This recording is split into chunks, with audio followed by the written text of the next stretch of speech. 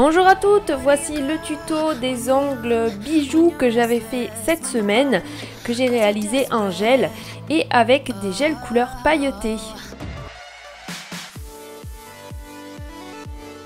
J'utilise toujours le même gel paint, le gel élégance de Tammy Taylor. Pour moi, il est vraiment indispensable pour les traits fins.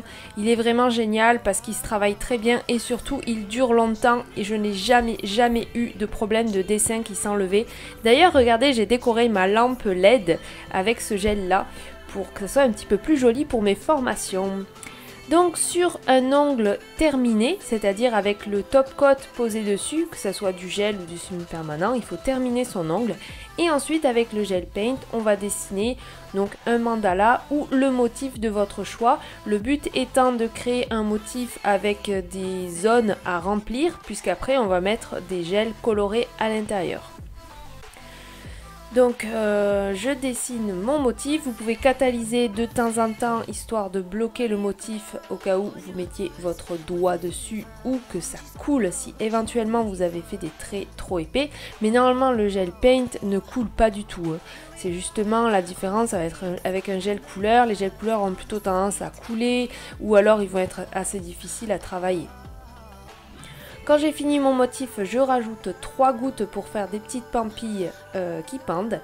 Et ensuite, avec le pinceau, je vais dessiner des petits points. C'est vrai que euh, j'utilise pas forcément le dotting tool quand je fais au gel ou au semi-permanent parce que les points se font très facilement avec le pinceau, contrairement à la peinture acrylique où il faut absolument un dotting tool, sinon les points sont trop moches. Et ensuite, là, je prends les gels de couleur ABC Nail Store. Les EF exclusifs sont aussi très très jolis. Regardez comme c'est beau là en zoom là comme ça. Les EF ils sont super bien aussi mais euh, je trouve les morceaux un tout petit peu trop gros donc pour faire du coloriage comme ici c'est un peu compliqué. Mais sinon ils sont encore plus brillants.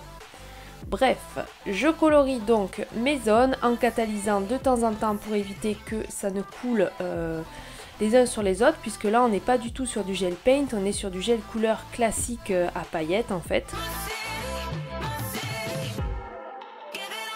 Donc je fais pas euh, forcément du relief avec, hein, juste je colorie.